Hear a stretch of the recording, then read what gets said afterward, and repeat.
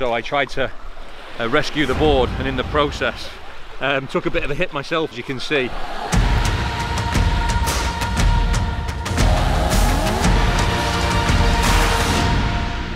So we started just east of Norman's Bay this morning um, and today was promised to be a good day according to Alex uh, who's been doing our weather routing um, and, it, and, it, has it's been glorious so far um, we got 18.7k this morning which was brilliant and we were always planning for a double session because we didn't get to paddle yesterday.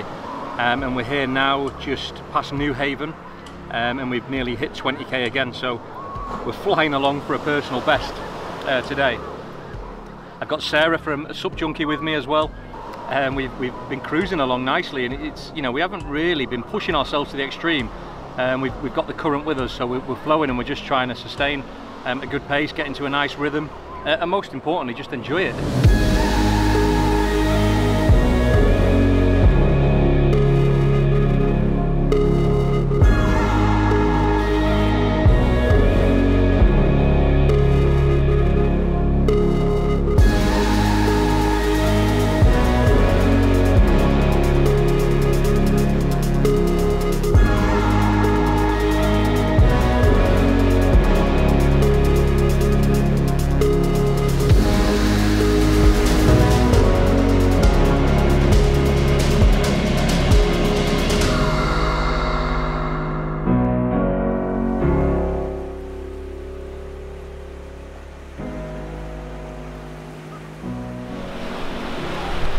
So um,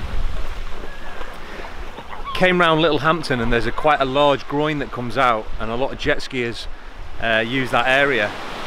told this jet skier, these two guys on the back of a jet ski were blaring music out to slow down, completely ignored me, um, which obviously created a lot of wave because he was doing like 40, 50 mile an hour.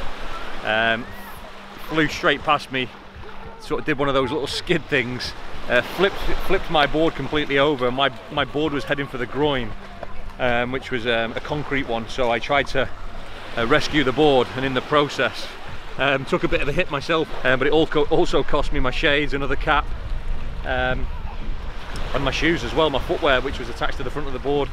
Um, but yeah, quite frustrating really.